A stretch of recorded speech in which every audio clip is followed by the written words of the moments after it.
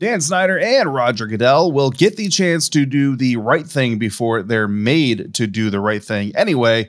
Will they do the right thing on their own? We're going to dive into that and we're going to dive into our offensive observations following week two of Washington OTA practices. All of that right now on the Locked On Commanders podcast. Your daily podcast on the Washington Commanders, part of the Locked On Podcast Network. Your team every day.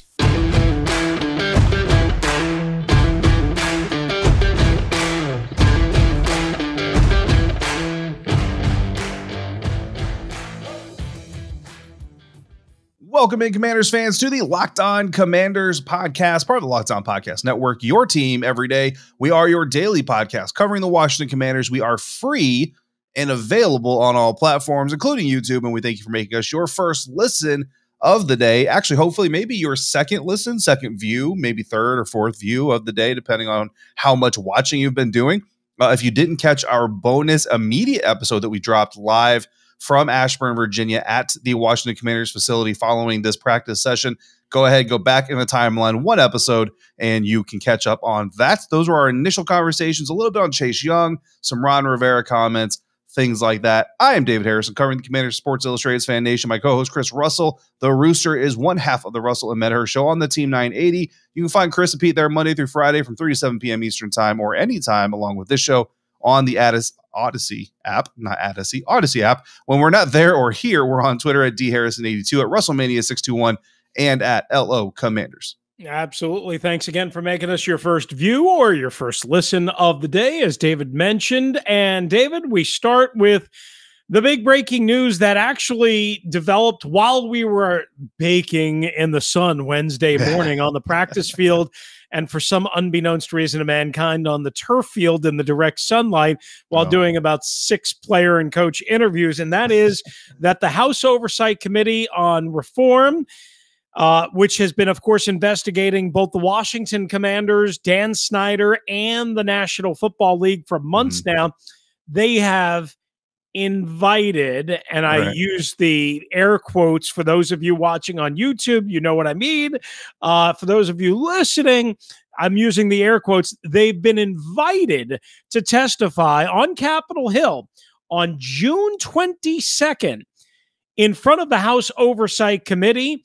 And David, before we get your reaction to all of this, the commanders issued a statement uh, a couple hours after the news came out saying, Quote, the commanders have assisted the NFL in cooperating with all prior requests from the House Oversight and Reform Committee. We look forward to responding directly to the committee's invitation in a timely manner. The NFL basically said essentially some of the same stuff. They said they've produced more than 460,000 pages of documents and responded to numerous questions in writing and in conversations with the committee staff they also basically said, We'll get back to you on the invite. Thanks. Yeah. Let's have Christmas dinner together. Why don't we? We'll get back to you. Um, what did you make of this? Yeah, I mean, basically, this is you know, again, it's the opportunity to do the right thing, go out, you know, put be put under oath, you know what I mean, be sworn in, talk openly, you know, testify, all these other things. If you, it, it's kind of the whole thing, like if you have nothing to hide, don't hide anything, you know what I mean, and um, both responses basically just read as uh, we're going to preemptively set the stage to deny your invitation and try to you know set the groundwork for us to say here's why we denied your invitation but at, at the end of the day i mean it's got public interest. There's a, there's a, a major business corporation involved misdeeds on every level. I mean you talk about abuse of employees toxic work environment sexual harassment sexual assault potentially financial uh, uh, uh, misgivings that include internal league revenue and also uh, interactions financially financial interactions with fans themselves. I mean, there's there's really not a whole like other than drugs. And i mean if you want to loop in i mean they, i don't know that congress has talked about but if you want to loop in the trainer investigation we've got drugs potentially going on uh, there as well. I mean it, it's just it's another it's another page you know what i mean in, in this story um, and whether or not it, it, sounds to me like it's basically just the opportunity to come in. It's kind of like the, you know, consent to search. Like, hey, you know, we we we, we suspect you of this. Can you we, will you let us search your property or your car right. or whatever uh, it is? And they say no. I'm you're you're going to need a warrant, and they go get a warrant anyway, and just basically force you to do it.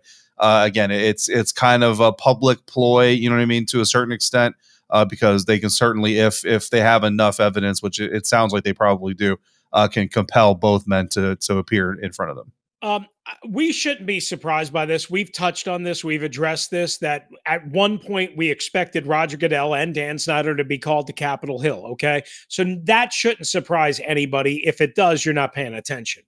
The question is, is the manner in which they're being again invited, asked to uh, attend, and, and, and again, maybe this is the the snarky side of me, David. I think they're expected to attend. And if no. they say no for whatever reason, hey, I'm out of town. Hey, I'm on vacation. Hey, I'm uh, going to be at the golf club, uh, you know, um, uh, you know, swatting balls whatever the answer is, then I think, and and I did check in with somebody on the very inner ring of the House Oversight Committee uh, on Wednesday afternoon, and they told me that Carolyn Maloney, who's the Congress uh, or, or the, the chairwoman of the House Oversight and Reform Committee, does indeed, as I expected and as I thought, have the power to use subpoena. Right. Now, whether it would be that same date, I'm not sure. Uh, again, that would have to play out, but she does have indeed the power to subpoena Roger Goodell and Dan Snyder, and therefore anyone else. Also, another key note this is going to be under oath, from what yeah. I was told.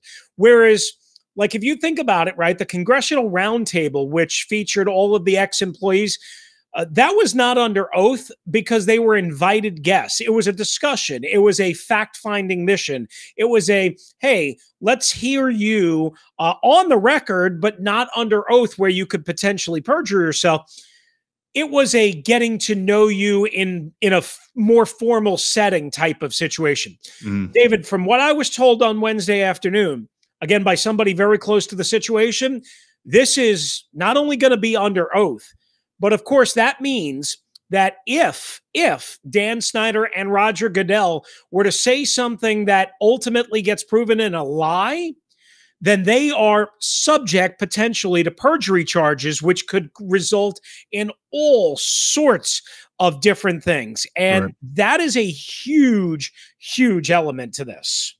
No, it, it absolutely is. And I mean, you know, the, the, I think everybody's pretty much going to look at this from a pessimistic standpoint when it involves uh, these two entities, and I and I can't blame anybody for it. I, I myself am. I mean, I don't I don't know what's going to happen next. I don't expect Dan or Roger to just willingly say, "Okay, yes, we'll show up uh, and we'll do this." I think they're going to both force them themselves to be compelled. I mean, potentially Roger. I just you know if the tide is really turning against Dan Snyder from an ownership and league standpoint, then potentially Roger Goodell goes. Uh, and, and kind of does it, you know, openly and, and, all that stuff because he's very good at reacting on the spot and, and circumlocution and talking around topics. But I don't think there's any way Dan Snyder does this uh, without being compelled to do so. Uh, I would I would agree. Now the other question is, and I, again, this is the non-lawyer, this is the non-criminal expert.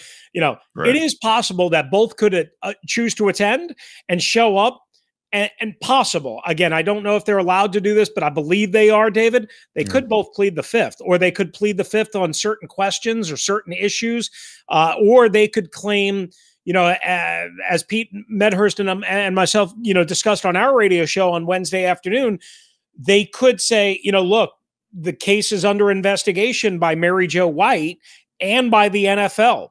Yeah. I, I can't answer something that is currently under investigation. So again, there are legal things that could still play out here that could either derail June 22nd or it could make it less fun for those right. of us that are really interested in to get into the bottom of things here. Uh, but yeah. nevertheless, this is a huge, huge development against potentially Dan Snyder, the Commanders, Roger Goodell, and the National Football League. So, you know, of course, we'll see uh, where it goes from here. Uh, yeah. Coming up next segment, right here on the Locked On Commanders podcast, David and I we're at the Inova Sports Performance Center in Ashburn, Virginia on Wednesday in the heat, and we're going to give you our offensive takeaways. That's next, baby.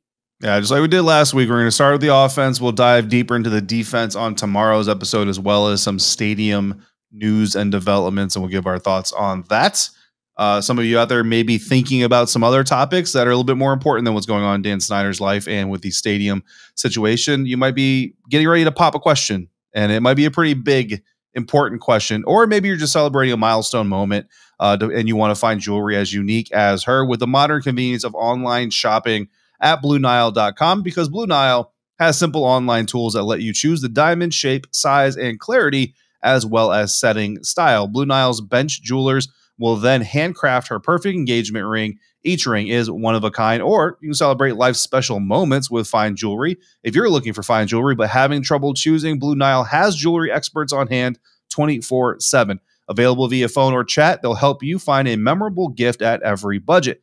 Make your moment sparkle with jewelry from BlueNile.com and locked on listeners get $50 off purchases of $500 or more. This podcast exclusive includes engagement rings, so use code locked on. That's code locked on. Plus, every order is insured, ships free, and arrives in discreet packaging that won't give away what's inside. Shop stress free and find your forever piece. Go to BlueNile.com today. All right, thanks again for making the Locked On Commanders podcast your first listen or your first view each and every day. Hey guys, we have an important favor to ask of you we've put together a survey so we can learn more about listeners like you uh, and viewers and uh, what makes your favorite Locked On podcasts even better. This is your opportunity to tell us what you like and what you don't like about Locked On Podcasts. So go to lockedonpodcast.com slash survey right now to get started. It won't take very long, and everyone that completes the survey can qualify for a chance to win one of 10 $100 Ticketmaster gift cards. To take our audience survey, go to lockedonpodcast.com slash survey. And thanks for your help. And while you're there, tell them how much you love David Harrison and Chris Russell and the Locked On Commanders podcast. All right, maybe you know, maybe I added that to the script.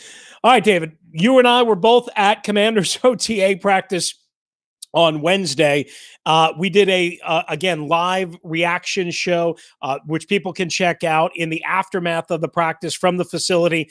Uh, and now we're going to take a little deeper dive into the offense and what we saw, and that of course starts with QB1 or yeah, number absolutely. 11, Carson Wentz. Yeah, QB number 11. QB1 on your depth chart. Uh, Carson Wentz.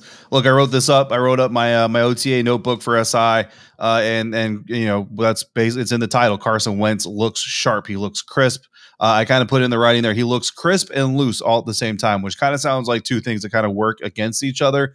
But when you look at Carson dropping back, reading the field, delivering the ball to his receivers, he looks very sharp. He looks very on it. Uh, I mentioned last week that some of the passes he threw to guys like Jahan Dotson, Curtis Samuel, Dyami Brown, etc., they were a little bit high sometimes on on occasion, and some of that you know it was raining out.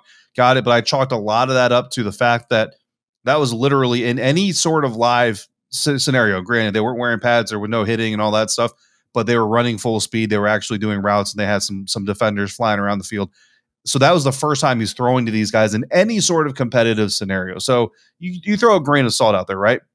But I mentioned, Chris, that this week, you know, you have a week under your belt. I would like to see some of those things kind of get worked out. And I got to be honest with you, a lot of them were worked out. I mean, those passes were on point. Uh, Chris, we witnessed a, a, very, a very good pass uh, to Jahan Dotson between two defenders right over Bobby McCain. Um, we'll get into it. We'll probably bring that play up again in the defensive review, actually, because there are two layers to that whole thing. But I mean, that ball was through a window, and I mean, when I when I say a window, I'm talking like a bathroom window, one of those really skinny windows that yeah. nobody can crawl through. Like that ball was on the spot it had to be on. Jahan Dotson, great catch uh, through traffic, focus, and all that stuff, and would have been a touchdown in practice. Would have been a touchdown in a game. That was probably the best throw of the day from Carson Wentz. Looked very sharp, looked very on time and it's very, very promising. Now, I made jokes to you while we're out there, like, when do we want to start scheduling the parade route? Look, I, everything I'm going to say, it sounds really good. And if you go read the post uh, that, that was put up on si.com, like it's going to sound really good as well. But I put in there, and I'm going to say it right here too. It is still shorts and t-shirts football. You know what I mean? So mm-hmm. let's don't get too carried away. But in perspective of where we are right now in this process, it's a very good sign. Yeah, I, I, mean, listen, David, I, am going to add just slightly to what you did. I, I, walked away with that same impression. Of course, I mean, it was hard not to. Uh, you mentioned the one touchdown pass, threading the needle to Jahan Dotson. I was just as impressed with some of his underneath stuff, some of the mm-hmm. quick game. Uh, yeah. We saw several times to Jonathan, uh, to Jahan Dotson and Jonathan Williams, who I'm going to get to in just a little while. Um, we saw different types of passes, if you will. There was one over the middle to Jahan Dotson that was a really nice throw uh, down the field. So, you know, I, I would say this again, it's only their fifth practice. Uh, as you would expect, and as you mentioned last week, it was raining. It was what their second practice. Uh, this week, it's their fifth practice. It's hot, but it's sunny. The weather's not as much of an issue in terms of uh, ball location, and, and that was one of the other things that I think we both saw. Is it looked like Carson Wentz had pretty good ball location mm-hmm. too mm-hmm. in terms of leading receivers so that they didn't have to reach back for it or readjust to it or something like that so that they may potentially get rack. So, yeah, I would agree that Carson Wentz certainly, uh, that was my first time watching him at field level uh, and in person, except for the pick by Kendall Fuller, which, if I saw it correctly, David, and you correct me if I'm wrong, uh, was underneath, you know, was cut underneath. I mean, listen, that's going to happen. Kendall Fuller's a good corner. He plays yeah. with his eyes. I mean, that's just going to happen. You're going to have to live with some interceptions with Carson Wentz, period. It's when those interceptions yeah. happen and how frequently they happen and how many they happen. Remember, he only had seven last year. Uh, fumbles lost were as much of a problem as anything, quite honestly, for mm-hmm. Carson Wentz. Not necessarily the interceptions, but now that's two in the two practice sessions that you've seen and one in one that I've seen. All right. So that's some on Carson Wentz, of course, QB1, number 11. Now, a guy that I think is going to make Carson Wentz a whole lot better, and also a guy that's going to make this offense a whole lot better, and we've spent a lot of time talking about him over the last year, is Curtis Samuel. Now, they say he's healthy. He looked healthy. If he's healthy, David, He's going to be a big part of the jet sweep game. He's another way for this Washington Commanders offense to hurt opponents because you got the vertical stretch game, you've got the run game, you've got the ball control game. But then Curtis Samuel is going to be used in a lot of different ways out of the backfield and on jet sweeps, either fakes or reverses. To me, Curtis Samuel makes this offense potentially special. Yeah, absolutely. I mean, I'm very excited to see what Curtis can do. You know, Scott Turner kind of talked about uh, he's doing some of the things they tried to do in the limited chances they had to work with him last year. Um, there was a specific move he made, kind of a double jump cut uh, and a little bit of a spin at the end there, and I was like, that's that's the kind of stuff you mm-hmm. want to see out of Curtis Samuel, and you couldn't see that last year. My second takeaway, Chris, is that the creative juices are flowing. That kind of goes into what we just talked about with Curtis Samuel. Uh, look, Scott Turner, we all kind of talked about it last year, right? We wanted to see a little bit more creativity, maybe mix some things up, especially with Taylor Heinicke kind of moving outside the pocket. The the caveat always to that is, you know, it's it's hard to ask an offense, a, a unit to do more when they're already struggling to do the basics. Um, early on, again, we're only two practices that we've witnessed, five practices in. You can see, Chris, Scott Turner is trying to take advantage of the weapons that he has. He is putting some creative things on the field. Uh, one of them, kind of drew some laughter today. You know what I mean? But that's why we work on them in OTAs and then we yep. we refine it and get better. Uh, you guys are going to enjoy what you see if they can get some of these things worked out and, and, put on the regular season field. I would also remind Commanders fans go back to watch the tape in 2020, their first year here, and some of the creative plays, especially in that Dallas Thanksgiving win, that Scott Turner on a short week uh, unleashed on the Cowboys. Remember that. All right. My second takeaway is the running back competition might not just be Antonio Gibson and JD McKissick and Brian Robinson, the third round draft pick. And Jaret Patterson, who's thought to be basically in the eh, very much in the mix, and I'm not saying that he's not, but I would watch out for the new 41. That's right. JD McKissick has switched numbers to 23. Jonathan Williams, he was very involved in the practice session today, catching the ball, looked good, running good kind of cuts, inside zone, that type of thing. I think Jonathan Williams is going to very much press Jaret Patterson for a roster spot and maybe just maybe by the time we get to September, uh, get it in. All right. Coming up next, we are going to talk about what we heard from Scott Turner, that uh, offensive coordinator with all those creative juices, and two things we want to see next week. That's next on the Locked On Commanders podcast.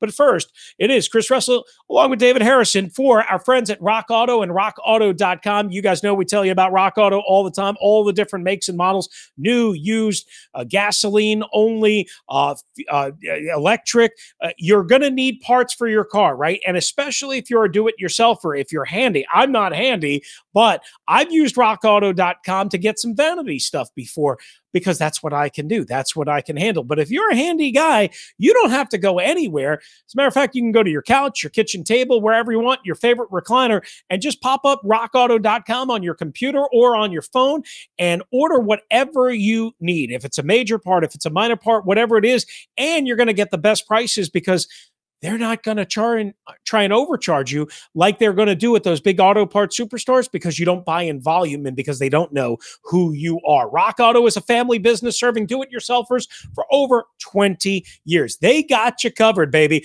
Go to rockauto.com right now, see all the parts available for your car truck, right? Locked on in there. How did you hear about us box so they know we sent you? Amazing selection, reliably low prices, all the parts your car truck will ever need at rockauto.com.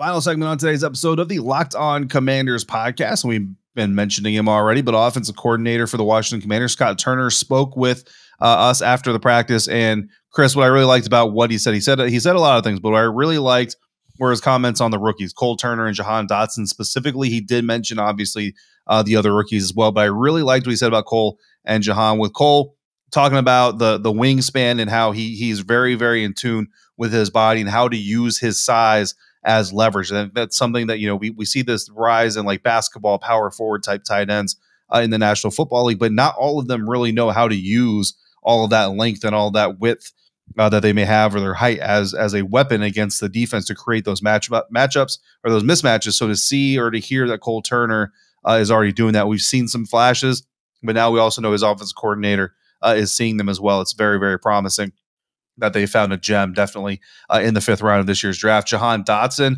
another guy he was uh, Coach Turner was asked about the absence of Terry McLaurin and kind of how that's impacting Jahan's learning curve and his ability to get more reps.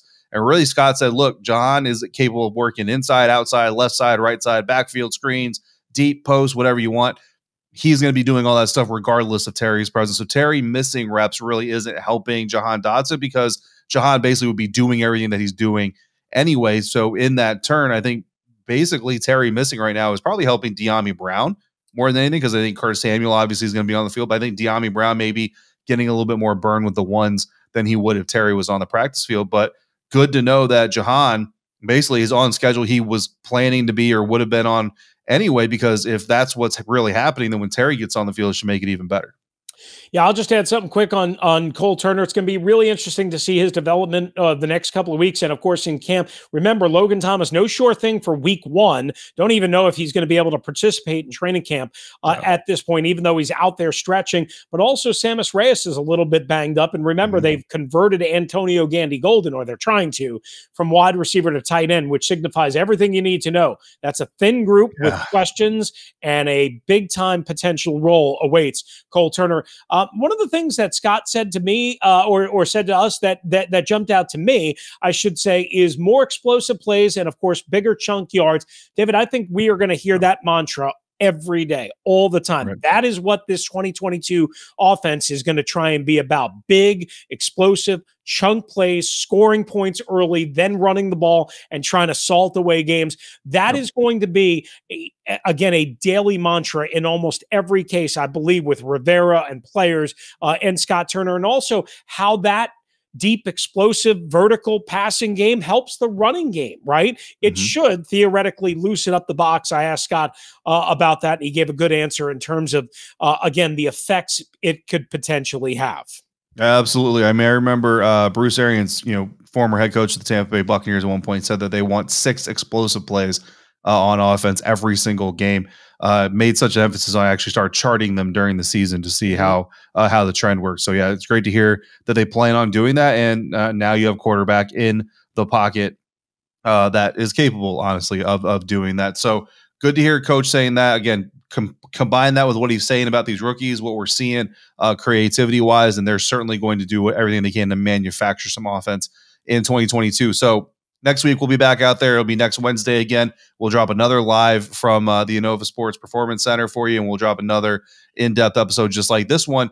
But what do we want to see? Well, what I want to see is Terry McLaurin. Simply, I just want to see Terry out there. Look, uh, Landon Collins officially came off the books on Wednesday. I don't know that that's what they're waiting on. I don't know that they're needing because they do they do have to stay under the salary cap now. They can't play with it, go under the salary cap for a day or two, and then get under. They have to stay under the salary cap uh, right now. So again, I don't know if that is maybe the hang up. Maybe they need to free up some of that cash. If it is, maybe Chris. I don't know. Maybe by the time people are listening to this on the drive to work tomorrow, uh, we have some news and, and this episode gets a little bit defunct. But would love to see number 17 on the field next Wednesday. Yeah, I would be surprised by that. Very yeah. surprised by that. But hopefully we can all hope uh, for that. As far as what I want to see, how about this? No interceptions from Carson Wentz. He's had one in each of the two practices, again, that you've been at, one in the one that I've been at. Uh, it's not a big deal, but I, would just love to see a you know a really good performance, crisp, clean, accurate, no mistakes, no interceptions. Um, I know it's going to happen, but we can have practices that are really good instead of just good or very good, and also a much better Taylor Heinicke. He mm-hmm. struggled uh, certainly on Wednesday, almost threw an interception along the sideline that really should have been intercepted. All right, that's going to do it for us, uh, Commanders fans. Thanks again for making the Locked On Commanders podcast your first listen or your first view on YouTube of the day. Now make your second listen and view the Locked On NFL podcast. Our national NFL experts and insiders keep fans dialed in with the biggest stories and the latest news from all around around the league because an offseason doesn't equal a break in the action. Follow the Locked On NFL podcast every day on the Audacy app, YouTube, and wherever you get your podcast. We'll be back with another episode uh, to round out the week in which we'll feature the defense and a little bit more of what's going on in the stadium game. Uh, if you want to hop in, 301 615 3577 on the voicemail line or locked on Washington Commanders at gmail.com. For David Harrison, who's covering the Washington Commanders for SI.com's Fan Nation, I'm Chris Russell, one half of the Russell and Medhurst Show on the Team 980 and the Audacy app. Thank you for joining us right here on the Locked On Commanders podcast.